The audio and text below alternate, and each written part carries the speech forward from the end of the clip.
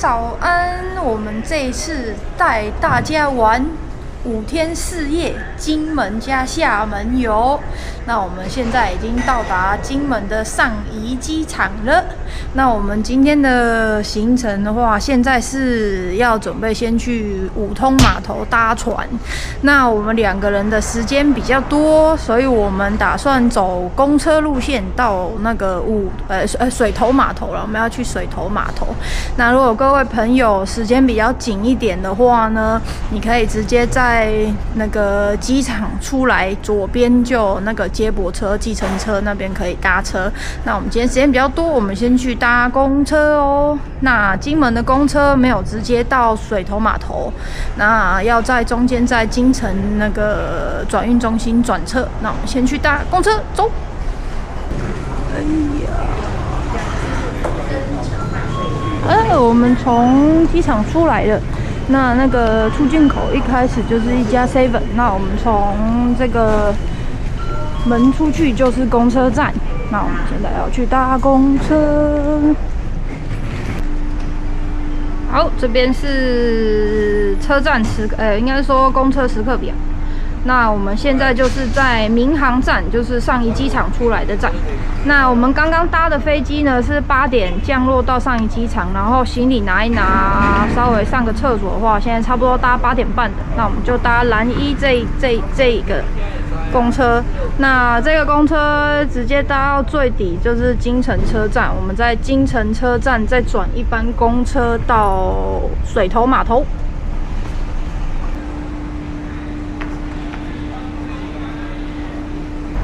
好了，我们现在在公车亭这边等公车，那大概是八点四十几分的话会来。那小三通的票价算起来真的是会比直航便宜很多，所以各位朋友都可以参考看看。如果时间比较充裕的话呢，你也可以像我们一样坐小三通线，就是先搭飞机到金门，再从水头码头搭到厦门五通码头。那如果时间比较短，要或者是想要在那边待比较久一点的话呢，你就可以直接坐台湾到厦门的直航飞机。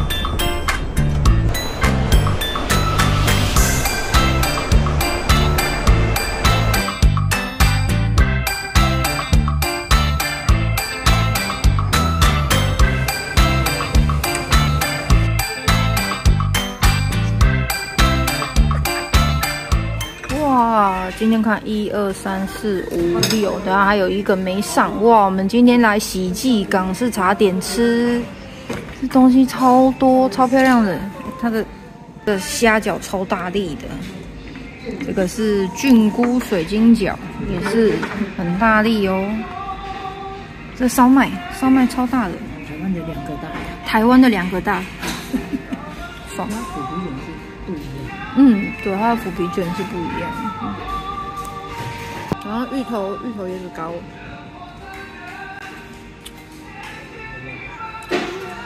嗯，哎，好好吃，好好吃，嗯嗯嗯。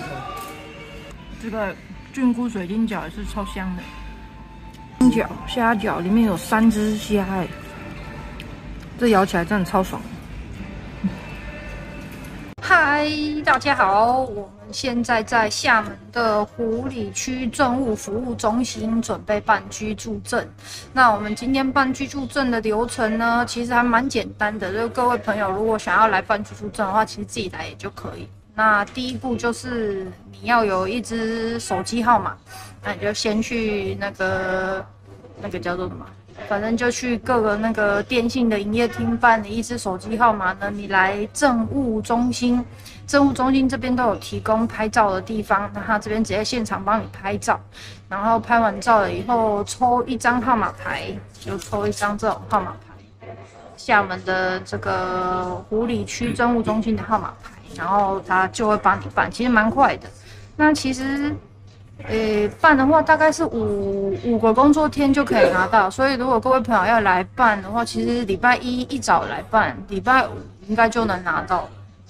那你就到时候再提供你第五天他能够寄到的那个饭店的地址，他就可以直接帮你寄到你的饭店，然后你就可以拿到。那其实办居住证还蛮方便的。那各位如果有兴趣的朋友，可以来办张居住证哦。之后的不管是通关呐，你坐高铁，它的那个通关也很快。住宿还有一些包含只能够开放中国大陆民众住宿的民宿，你也能够用居住证住。那台胞证有时候不一定能用。那居住证的能够便利的范围又会更广一点。啊，有兴趣的朋友可以来办办哦，不用钱哦。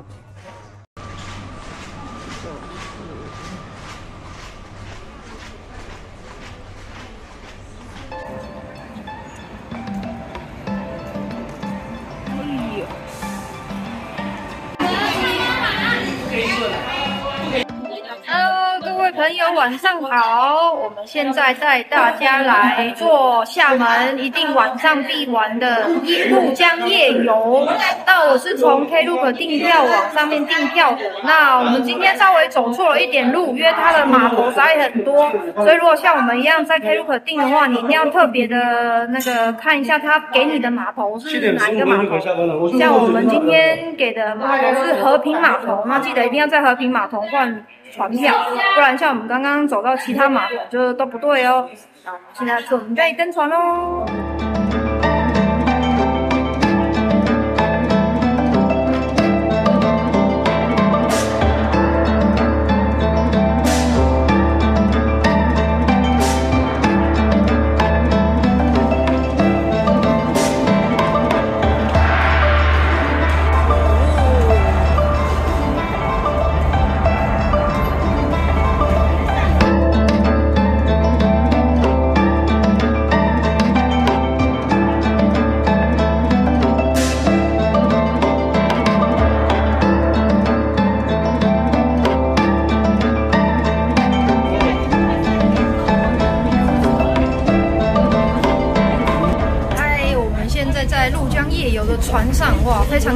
的船。那我们今天呢，一人呃，应该说我们包了一桌两百块的，它有副茶汁，可以在里面凉亭泡茶。那后面还有独立的那个观景平台。那一个人是在五十块，如果四个人来的话，它一桌是两百块人民币。那这边就享有那个比较独立的风景可以看哦。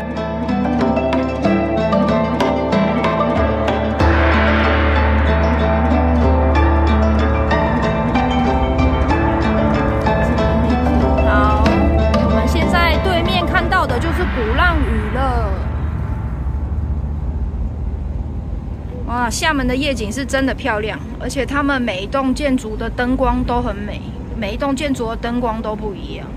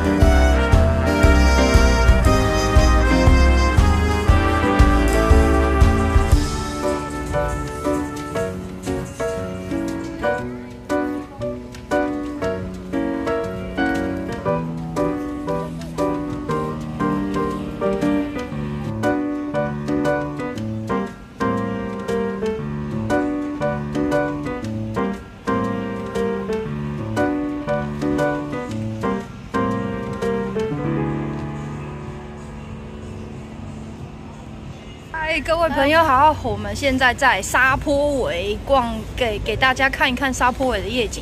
哇，这边的建筑物都超有特色的，装置艺术都好漂亮哦。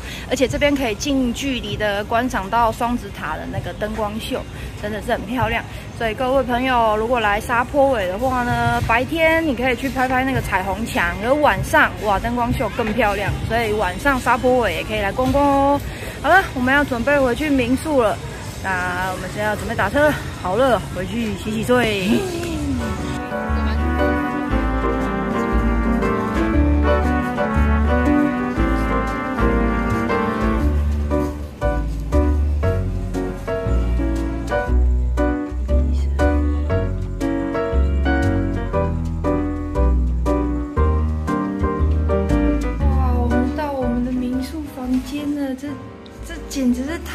点了，这真的太漂亮了。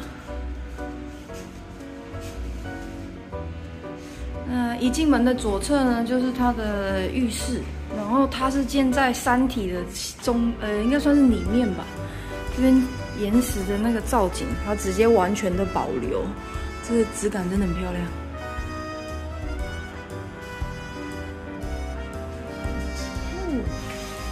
给大家来参观一下我们今天住的一山隐居设计酒店，设计师酒店。你看这间的装潢多正点呐、而且这间我是在 Trip 那个订房网订的，它的价格合台币才一千七百多块而已，超级无敌划算。而且它这边的电视是投影机耶，这边还有那个屏幕。没有投影机，等下来看看电视。嗯，真漂亮。嗨，各位朋友，我们终于坐到房间开始休息了。那我们今天住的这家民宿叫一山隐居设计师民呃酒店。那其实你来厦门的话呢，我建议啦，就是你至少要一天的时间住在环岛南路这附近的民宿，每一家民宿都非常的精彩，而且这边的民宿都是比较高级的，所以它不管是那个设备啦，然后它里面的装饰啊，然后建筑的风格都非常非常的漂亮。虽然说环岛南路离它的市中心，比如说那个思明区啊，那个沙坡尾啊，或者是那个中山路那一段都比较远一点，可是这边的民宿每一间都非常的精彩，所以我建议各位如果来厦门玩的话，这一区的民宿一定要找一间来试试看哦，真的超赞的哦。那我们今天就分享这间一山隐居。设计师酒店给大家。好了，我要跟各位说声晚安喽。那感谢各位今天的支持，我们要准备洗洗睡了哦。那如果喜欢我们的影片，再麻烦帮我们订阅、按赞、加分享哦。我们明天继续行程哦，再见喽，拜拜。